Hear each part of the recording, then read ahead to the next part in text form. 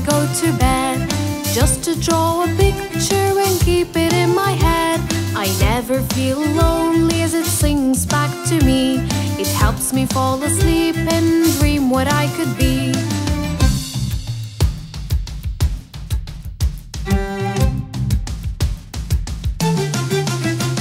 I used to need someone to read the lines for me.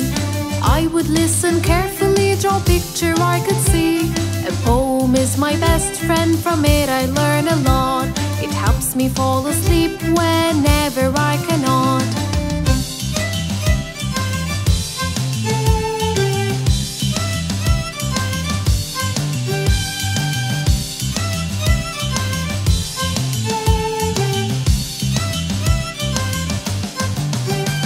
I have a lot of poems I keep up on my shelf.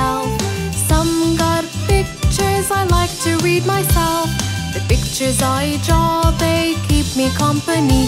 I even made new friends, they mean a lot to me.